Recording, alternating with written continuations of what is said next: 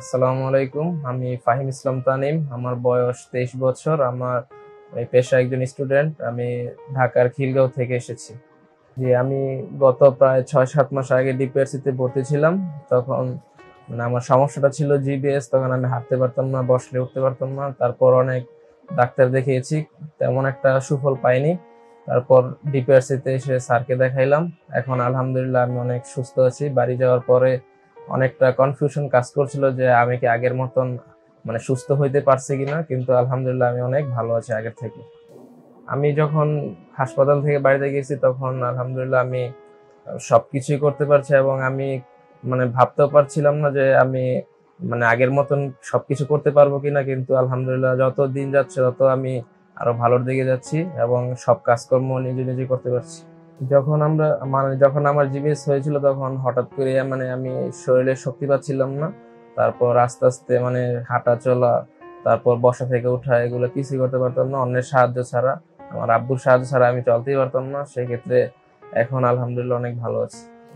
Confusion মানে হঠাৎ করে হয়েছে তো সেই ক্ষেত্রে একটু ঘাবড়াই গেছিলাম যে মানে সুস্থভাবে চলাফেরা করতেছে, কিন্তু হঠাৎ করে হাঁটতে পারছি না মানে শক্তি পাচ্ছি না, কোনো মানে সব দৈনন্দিন যে জীবনে কাজগুলো আছে, ওইগুলো করতে পারছি না, খেলাধুলা করতে পারছি না সেক্ষেত্রে একটু কনফিউশন তো কাজ করছিল প্রায় ছয় সাত মাস নিজে ঘরেই ছিলাম, বাইরে যেতে পারিনি বন্ধু বান্ধবের সাথে কোনো আড্ডা দিতে পারি নাই কিন্তু তারা আমার বাসায় আসছিল, আমাকে সাহস দিচ্ছে তো সেই ক্ষেত্রে আলহামদুলিল্লাহ এখন ভালো আছে। বর্তমানে আমি আলহামদুলিল্লাহ আগের চেয়ে অনেক ভালো আছি এবং নিজে নিজে সবকিছু করতে পারছি ভার্সিটি যাচ্ছি ট্রাভেল করতেছি সবকিছু করতেছি, আলহামদুলিল্লাহ।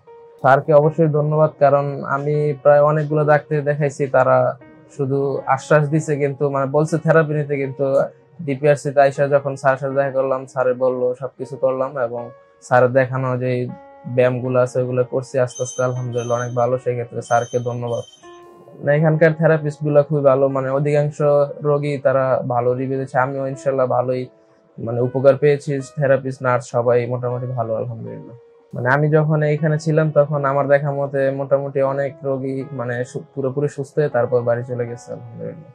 মানে সবাই দেখা যাচ্ছে আলহামদুলিল্লাহ সুস্থ হয়েছে, তো সেই ক্ষেত্রে আমিও তো মনে মনে ভাবছি যে ইনশাল্লাহ আমিও সুস্থ হয়ে যাব, কিন্তু একটু সময় লাগবে, সেই ক্ষেত্রে মানে সুস্থ হয়ে যাব ইনশাল্লাহ। এই মানে কনফিডেন্সটা ছিল মনের মধ্যে।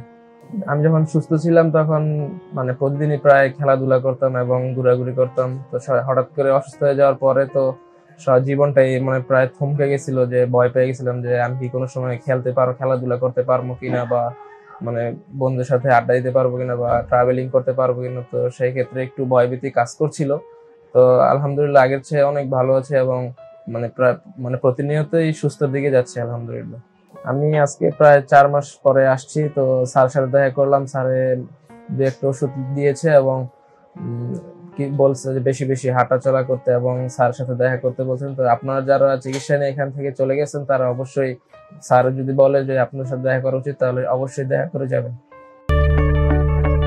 আমরা জানি আপনার প্রিয়জন আপনার জন্য কতটা গুরুত্ব বহন করে। প্রপার ডায়াগনোসিস কনসালটেশন পেইন ও প্যারালাইসিস চিকিৎসা পুনর্বাসন আমাদের সব আয়োজনই সবসময় আপনাদের জন্য চব্বিশ ঘণ্টা খোলা। আমরা চাই না আপনারা বারবার আমাদের কাছে ফিরে আসুন তবুও আমরা আছি সব সময় সর্বদা আপনাদের পাশেই।